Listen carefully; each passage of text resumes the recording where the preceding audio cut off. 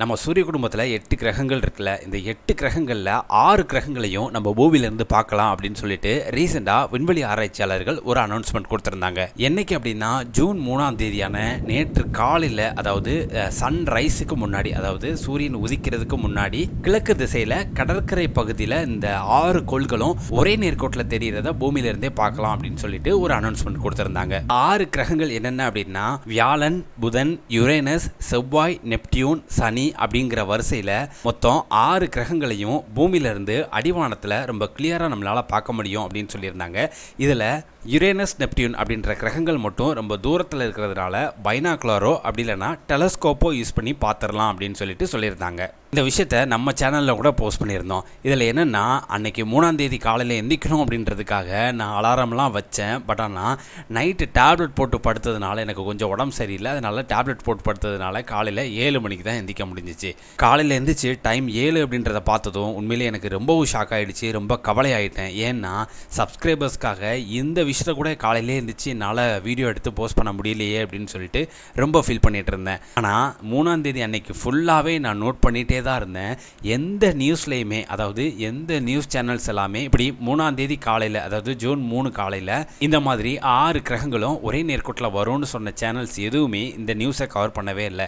என்ன மிஸ் பண்ணிட்டாங்களா? ஒரு வேளை மறந்துட்டாங்களா? அப்படின்னு நினைக்கும் போது தான் இன்னைக்கு ஒரு நியூஸ் வந்து வெளியே வந்துச்சு. என்ன அப்படின்னா இந்த மாதிரி மேக கூட்டத்தின் காரணமாக அதாவது மேகமூட்டத்தின் காரணமாக வானத்தில் இந்த மாதிரி ஆறு கிரகங்கள் தெரிய இருந்த கிரகங்கள் எந்த கிரகமுமே கிளியராக தெரியலை பார்க்க முடியல அப்படின்ற ஒரு நியூஸை இன்னைக்கு தான் ரிலீஸ் பண்ணியிருந்தாங்க. இதை விட ஒரு ஃபீல் பண்ணக்கூடிய விஷயம் என்ன அப்படின்னா சென்னையில் இதுக்காக பசங்க எல்லாருமே ஒரு நாலு மணிக்கெல்லாம் அதாவது ஏர்லி மார்னிங் நாலு மணிக்கெல்லாம் எந்திரிச்சிட்டாங்க. இந்த மாதிரி வானத்தில் ஒரு அதிசயமான நிகழ்வு நடக்க போதே அதை பார்க்கணுமே அப்படின்ற ஒரு கியூரியாசிட்டியில் எந்திரிச்சிட்டாங்க. பட் ஆனால் அவங்களுக்கு ஏமாற்றம் தான் நிகழ்ந்தது. ஆனால் இதுக்கு நீங்கள் ரொம்ப ஃபீல் பண்ணணும்னு அவசியம் கிடையாது. ஏன்னா வர்ற ஆகஸ்ட் மாதம் இருபத்தெட்டாம் தேதி இதே மாதிரி ஒரு நிகழ்வு நடக்க போகுது அப்படின்னு சொல்லியிருக்காங்க.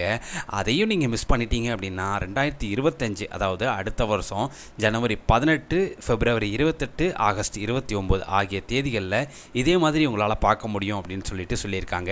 அது மட்டும் இல்லாமல் இதில் ஸ்பெஷலான ஒரு விஷயம் என்ன அப்படின்னு கேட்டிங்க அப்படின்னா ரெண்டாயிரத்தி இருபத்தஞ்சில் பிப்ரவரி இருபத்தெட்டில் பார்க்குறீங்கல்ல ஸோ அந்த டேட்டில் மட்டும் ஏழு கோள்களையும் பூமியிலிருந்து பார்க்கலாம் அப்படின்னு சொல்லிட்டு விஞ்ஞானிகள் சொல்லியிருக்காங்க.